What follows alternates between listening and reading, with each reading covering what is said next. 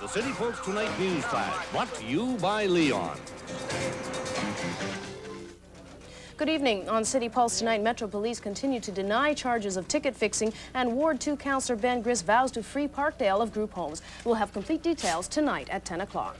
Tonight, thousands will experience something miraculous. The return of a force so wonderful. If experienced, your home will never be the same. For those who patiently waited, your miracle is back. Leon's no money miracle. Guaranteed lowest prices plus pay no money down. No interest and make no payment till June. Your miracle has returned. Visit Leon's now and enjoy it.